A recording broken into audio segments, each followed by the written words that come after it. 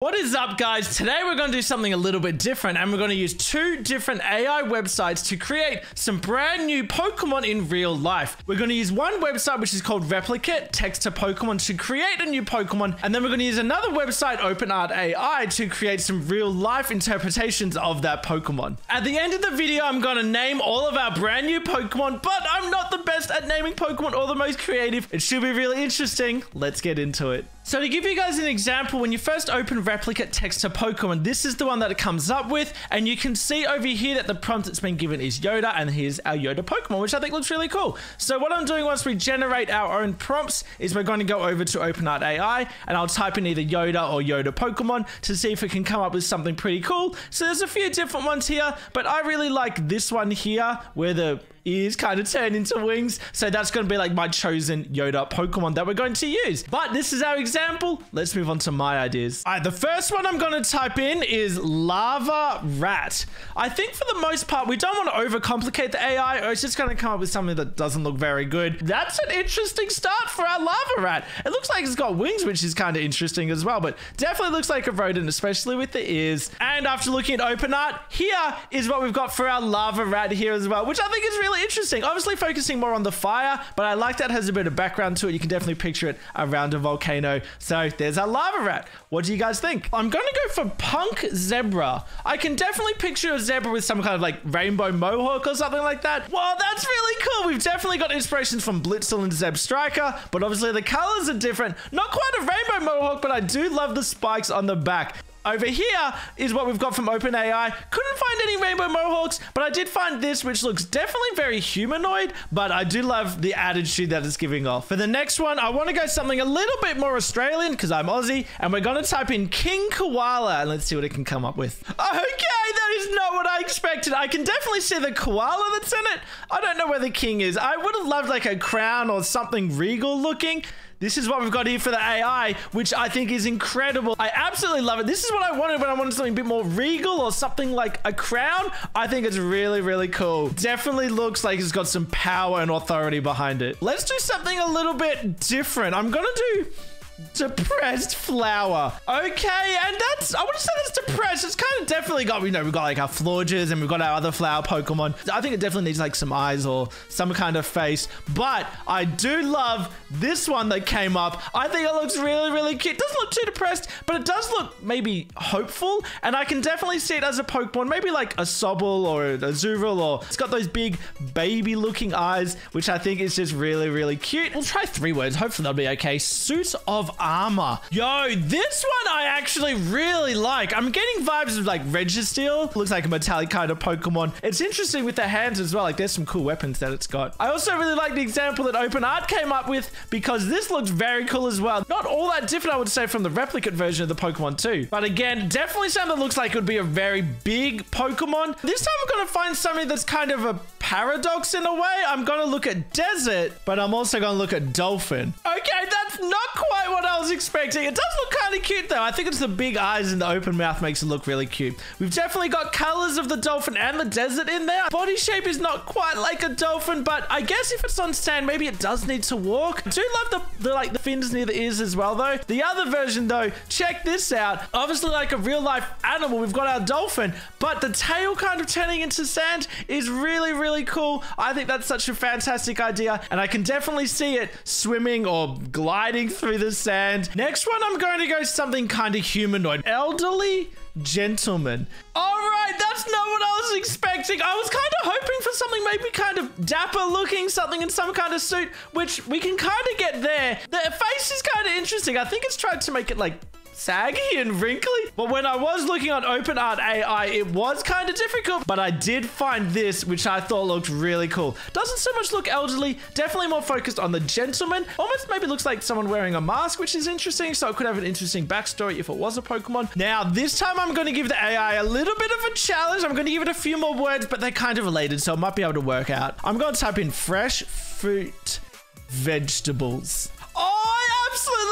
This one. I love the colors in it. Obviously, we've got our fresh fruit and veggies, your watermelons, maybe your lemons, that sort of thing. Maybe it's got some vibes from like Vivillon and stuff like that. I think the shape of it. But when we're looking for the open art AI, I couldn't decide. So I have two here. One of them looks like a Bulbasaur, but with lettuce on it, which I think is very cute and very cool. And the other one is a lemon Looks like it's got a sword and it's dealing some damage to other fruit and veggies, which is kind of cool. But it just looks so happy and excited, and I love the arms and legs on it, so I couldn't decide between the two. Hey, if you've come this far into the video, you must think it's kind of alright, so it would mean a lot if you could chuck a like on the video and subscribe to the channel if you're new. I've always got interesting Pokemon things happening. Alright, let's get back to it. Now, I feel I would be remiss if I didn't type my name into it, because metal and fear are two real-life words, and it could come up with a pretty gnarly looking Pokemon, I think. As it was loading, I was thinking in my head, what if it just shows us something like a piece of metal? That's kind of close to a piece of metal. It looks almost like maybe like a Klink. Definitely focusing more on the metal side of things. But I did look at it at open art and I'm going to give you a bit of a warning. It's kind of creepy. A lot of the images here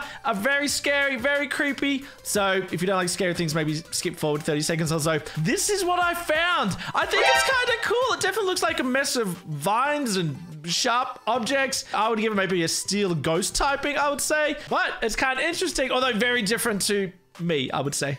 okay, after that last one, I think we definitely need to cleanse our souls. So let's do something a bit more happy and vibrant. We could even do something like a happy, let's go Australian again and do happy platypus and see what it can come up with. I wouldn't say it's a platypus. This is maybe more like a wallaby or something? The ears are definitely not like a platypus, but it is interesting how it just has two legs and a massive tail. But this thing is very, very cute. Definitely looks happy and definitely looks a little bit more like a platypus, which I think is very, very cool. I'm to do another one that's kind of two very different terms. I'm going to do princess but then I'm going to do slug. Again, like when we did King Koala, I'm hoping for some kind of crown. All right, I love this. It definitely looks more like a snail because of the shell, but oh my god, it has a crown exactly like I wanted it. But I also love this version over here because this one is super, super adorable. I could almost see something like this yellow one evolving into the pink one with the shell and the crown.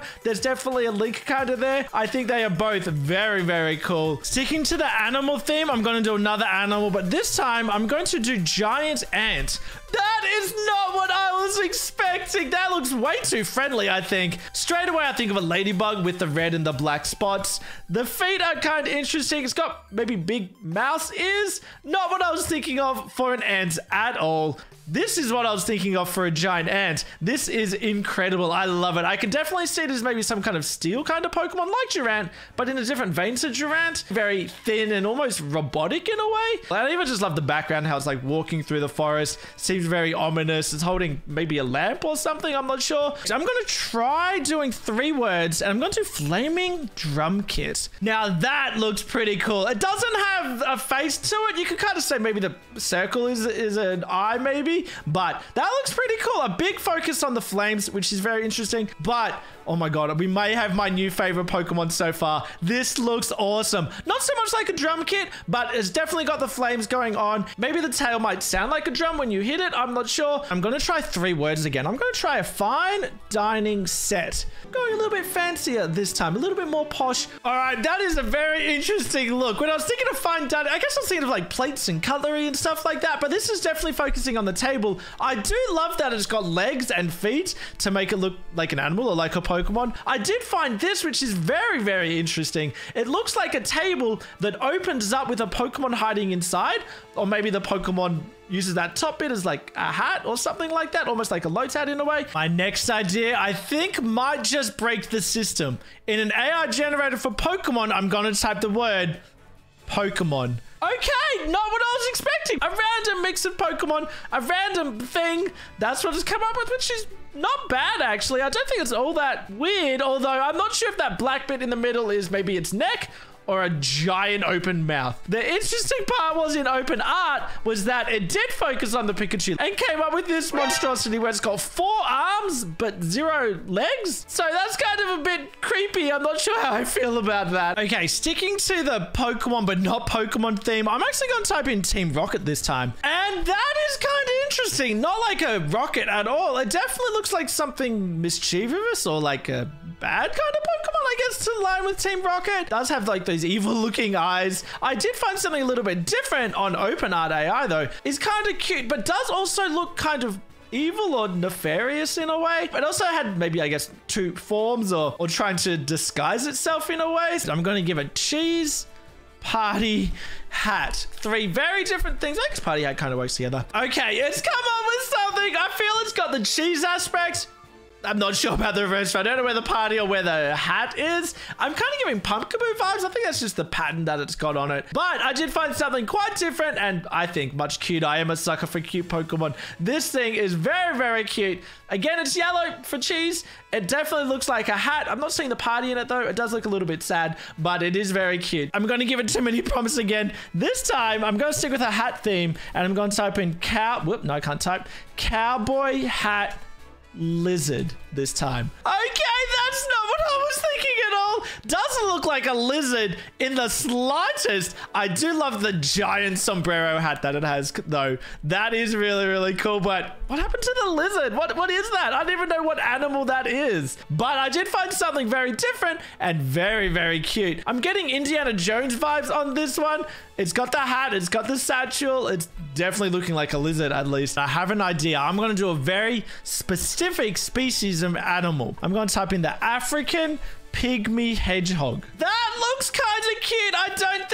Too bad, actually. It does kind of look like a hedgehog, but I'm also kind of getting like herdier vibes off it. Maybe it's the color scheme. It does kind of look frightened. Almost got like a raccoon kind of face, I think. This is what an African pygmy hedgehog looks like in real life, and I think that looks very, very cute. All right, our last one, and then we're going to try to name them, which I'm kind of nervous about, not going to lie. Two words that you wouldn't normally see together. I'm going to do superhero Chihuahua. All right, my Chihuahua doesn't quite look like a Chihuahua, but I think that looks pretty cool. I definitely see superhero vibes in there. I love the color scheme. The black looks really, really cool. Even the gold bands around the paws look very cool too. I do like that a lot. I can see that being a superhero. I think that's really cool. I don't think it can beat this. Have a look at this superhero Chihuahua. It looks like it's flying. It looks straight up like a Chihuahua. It looks very happy. It's got armor around it. It is a straight up superhero. I absolutely love that. Now, the difficult part, at least for me, we're going to name our Pokemon. I started with our Lava Rat, which I ended up calling Rolton for rat and Molten together. Next was our Punk Zebra that I ended up naming Zebrunk, simply Zebra plus Punk.